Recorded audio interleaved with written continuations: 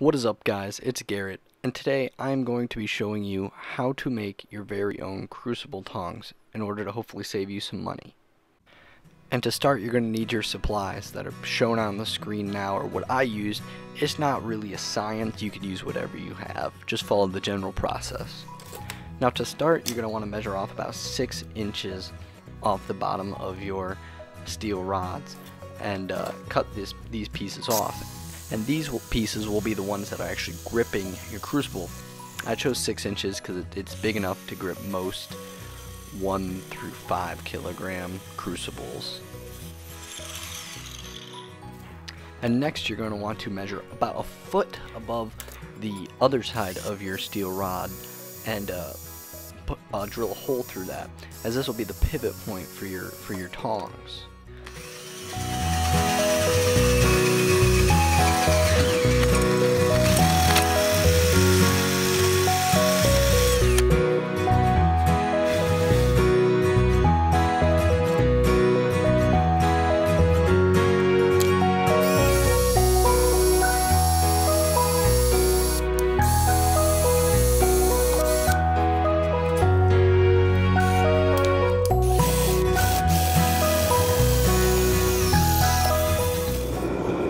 Next, you're going to want to fire up your forge that I'm sure many of you have if you're watching this channel or perhaps can build. I might make a, a, a project of that later.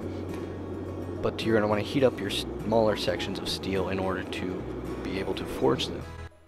And what you're going to do is you're going to place your hot steel in here, take a, a, a gripping tool, and proceed to start bending it uh, into a, a semicircle. Um, similar in circumference to the crucibles you're going to be lifting with.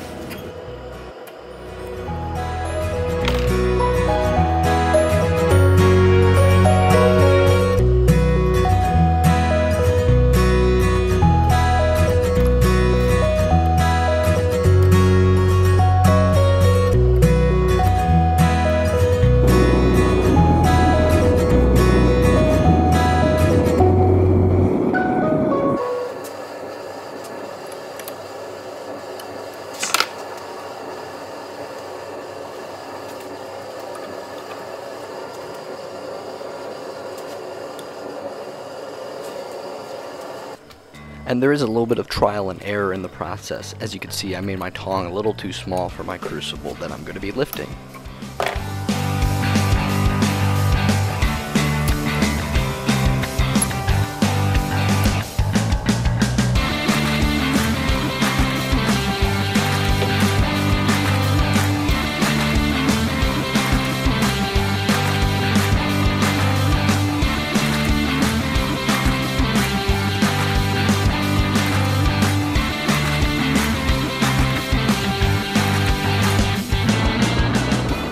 Throughout the process, I was wondering what this yellow uh, stuff was all over my forge. Then I realized it. I made the mistake of buying zinc plated steel. I would highly recommend not buying plated steel as it is the zinc gases are toxic. Now once the first section is bent to uh, the correct size, the second one is quite easy as you just, as you're seeing, hammer it uh, into shape using the first one as a guide. Now don't get me wrong, I love casting, but there's just something special about working with steel. Just the, the, the feel of when you're hammering it, and knowing you have a 2000 degree, give or take, piece of metal in your hand, it, it's quite fun. I would recommend anybody with a forge. Give it a shot at least.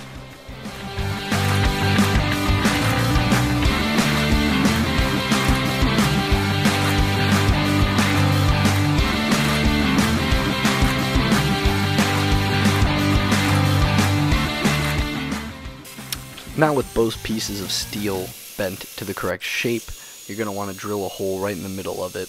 It doesn't matter if you're a little bit off, but try and get as close as you can. And secondly, if it is slightly too big still, or not correctly bent, you could usually do a little bit of working cold.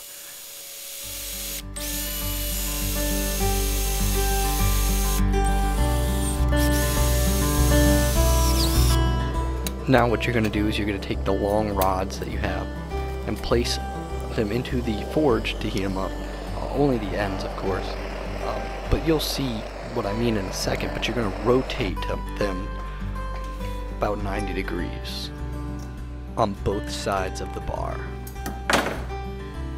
Now you can't really see it in the video here, but the side I am doing currently is the handle side. You can determine which side will be your handle side and which side will be the one going into the fire um, because the pivot hole that you drilled previously in the middle of the two rods will be closer to the the tong side, uh, the side that's going to be in the forge, than it will be to your handle uh, side.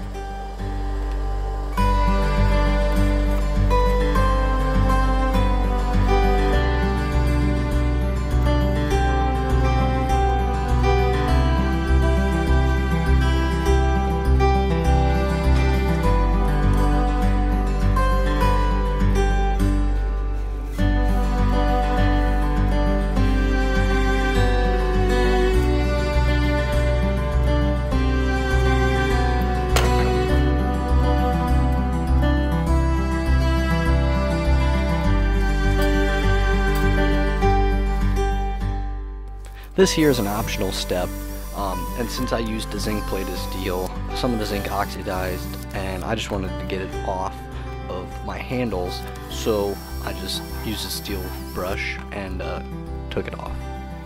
Now what you're going to want to do is drill a small hole into the tong side of your steel rod, about the diameter of the bolts you will be using. Alright, now that we've got everything set up and drilled, um, now that there's left to do is uh, assemble it. So let's get to it. Alright, to start, you're going to want to take your smaller bolts and make sure that the nuts are facing outward so that they're not touching your crucible. This will just make it sit better. And you're going to want to probably double nut, unless you have small nylon uh, nylock nuts, and then I would recommend using those. Um, as long as you don't leave it in the forge too long as the nylon could melt. But if you don't want to, uh, risk it, just uh, use double, just double nut it and uh, tighten it down pretty hard. Next, you're going to want to take your larger bolt and your two pieces of steel and put the washer in between them and then hook the, the two pieces of steel together as seen with uh, your bolt and your nylock nut.